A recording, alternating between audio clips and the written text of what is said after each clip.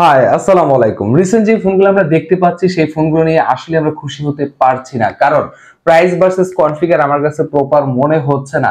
ঠিক তেমন Tecno Spark twenty pro এই ভাই কিন্তু মার্কেটে চলে এসেছে। বাট এই ভাই কতটুকু আপনাদেরকে খুশি করতে পারবে এই প্রাইস পয়েন্টে এটা পারফেক্ট ডিল হবে নাকি অন্য কিছু দেখবেন? সেটা নিয়ে আমরা বিস্তারিত আলোচনা করব। এই ভাইয়ের প্রাইস হচ্ছে একুশ হাজার নয়শো নিরানব্বই টাকা মানে বাইশ হাজার টাকা। সো বাইশ হাজার টাকা একশো আট মেগাপিক্সেল কতটুকু যৌক্তিক ছিল? আসলে একশো আট নাকি? নামমাত্র একশো আট। এছাড়াও এখানে আমরা ব্যাটারি পাচ্ছি পাঁচ হাজার এমএস ব্যাটারি তেত্রিশ ওয়াটের ফার্স্ট চার্জার আসলে আমাদেরকে হতাশ করেছে কিছু কিছু বিষয়, সেটা নিয়ে আমরা বিস্তারিত আলোচনা করব। সো নতুন হলে সাবস্ক্রাইব করতে ভুলবেন না, পাশে থাকা বেল বাটন প্রেস করে দিবেন।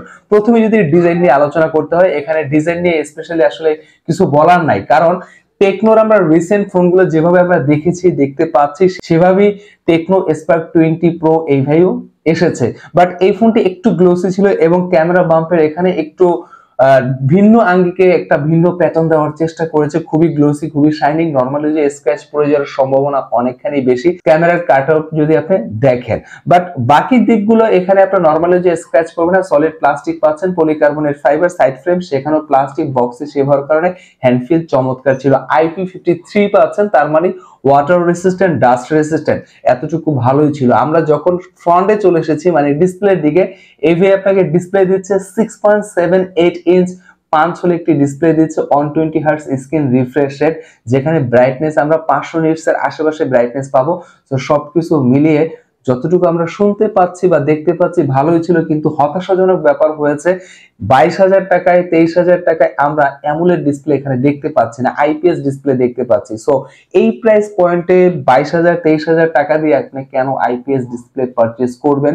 বা টেকনোই বা কেন আইপিএস ডিসপ্লে দিল, সেটাই এখন দেখার বিষয় বা জানার বিষয়।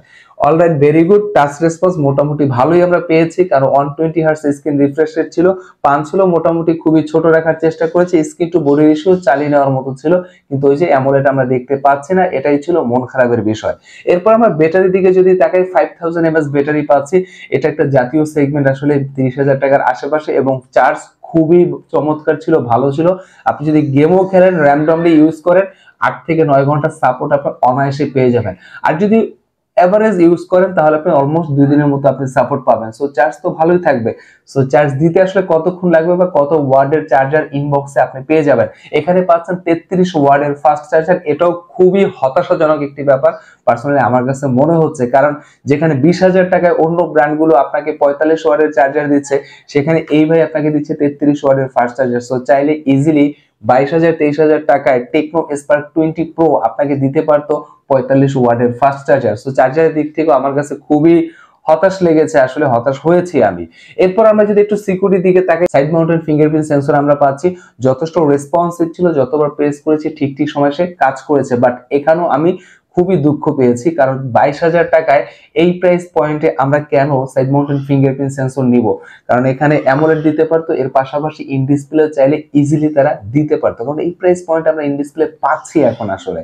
সো এবং সাউন্ড কোয়ালিটির কথা বলে নিঃসন্দেহে চমৎকার রেখেছে তারা সাউন্ডটা টেকনো স্পার্ক টোয়েন্টি প্রো কারণ এখানে আমরা স্টুডিও স্পিকার পাচ্ছি ডলবি সাউন্ড সিস্টেম যথেষ্ট ভালো ছিল। আপনি যদি মিউজিক লাভার হন, আপনার জন্য পারফেক্ট ডিল হতে পারে টেকনো স্পার্ক টোয়েন্টি প্রো এই ভাই। এছাড়াও আমরা যদি একটু ক্যামেরার দিকে তাকাই, এখানে আমরা ট্রিপল ক্যামেরা সেট পাচ্ছি। মেইন যে শুটার সেটি হচ্ছে একশো আট মেগাপিক্সেল সো একশো আট মেগাপিক্সেল শুনে খুব হাইপ ক্রিয়েট করার কিচ্ছু নাই। কারণ এখানে আমরা ক্যামেরার আউটপুট মোটামুটি অ্যাভারেজ আমরা পেয়েছি। মানে যদি বিশ হাজার টাকার কথা মাথায় রাখেন বা একুশ হাজার বা বাইশ হাজার কথা মাথায় রাখেন, আমি বলব প্রপার আমরা আসলে আউটপুটটা পাচ্ছিলাম না। এর থেকে বেটার কিছু এক্সপেক্ট করি। যদিও এখানে একশো আট মেগাপিক্সেল লেখা আমরা দেখতে পাচ্ছি, তেমনটা আমরা পাইনি। এবং সেলফি ক্যামেরা বত্রিশ মেগাপিক্সেল সো এক কথায় বলব রিসেন্ট যে ফোনগুলো আমরা দেখতে পাচ্ছি টেকনো বা হচ্ছে ইনফিনিক্সের কারণ আপনারা জানেন যে টেকনো ইনফিনিক্স কিন্তু ভাই ভাই সো ওনাদের যে ক্যামেরার আউটপুট ছিল, এখানে সেই আউটপুটই আমরা ডিফারেন্ট কিছু আসলে পাইনি। ক্যামেরা নতুন করে তারা কাজ করেনি সো আমি ডেফিনেটলি বলব বাইশ হাজার টাকায়, বিশ হাজার টাকা এর থেকে বেটার ক্যামেরা ফোন আমরা ইজিলি পেয়ে যাই। সেলফি ক্যামেরা বত্রিশ মেগাপিক্সেল সেখানটায় আমরা মোটামুটি অ্যাভারেজ একটি আউটপুট পেয়েছি। কালার কন্ট্রাস্ট মোটামুটি ছিল ডে যদি ছবি তাহলে সেই ছবিগুলো কাজে লাগাতে পারবেন। আর আমরা যদি ভেরিয়েন্টের দিকে তাকাই, এখানে আট জিবি র্যাম পাচ্ছি, আট জিবি র্যামের সাথে পাচ্ছি দুশো ছাপ্পান্ন GB storage so RAM ROM কিন্তু যথেষ্ট ভালো ছিল এই প্রাইস পয়েন্টে এবং প্রসেসরের কথা যদি বলতে হয় MediaTek Helio G ninety nine so বিশ হাজার টাকার নিচে অথবা বিশ হাজার টাকা পর্যন্ত MediaTek Helio G ninety nine six M এর আর্কিটেকচার ওকে লেভেলের ছিল। কিন্তু যখনই আমরা একুশ হাজার টাকা বা বাইশ হাজার টাকা চলে যাই, তখনই আমরা এর থেকে ভালো একটা চিপসেট আশা করতেই পারি। বাট অন্যদিকে যদি আপনি তাকান, এই প্রাইস পয়েন্ট বা এর থেকে বেশি প্রাইসে কিন্তু আবার জি নাইনটি নাইনের থেকেও খারাপ প্রসেসরও দিচ্ছে। সো পারফরমেন্সের কথা বললে আমি বলব একটা এমনস একটি জায়গায় থাকবে খুব একেবারে কিছু একেবারে ফেলে দেওয়ার মতো না। সো ভিডিওর শেষে হচ্ছে আসলে এই ফোনটা করা কতটুকু যৌক্তিক? এটি করবেন নাকি অন্য কিছু দেখবেন?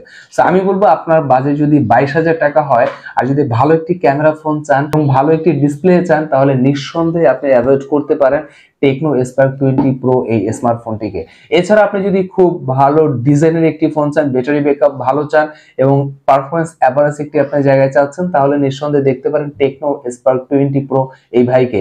এরপরও যদি কোনো ইনকোয়ারি থাকে, অবশ্যই কমেন্টের মাধ্যমে জানাতে ভুলবেন না। সেখানে আরও ডিটেল আমরা ক্লিয়ার করে দেওয়ার চেষ্টা করব। ভালো থাকবেন, সুস্থ থাকবেন, নিজ পরিবারের সাথেই থাকবেন।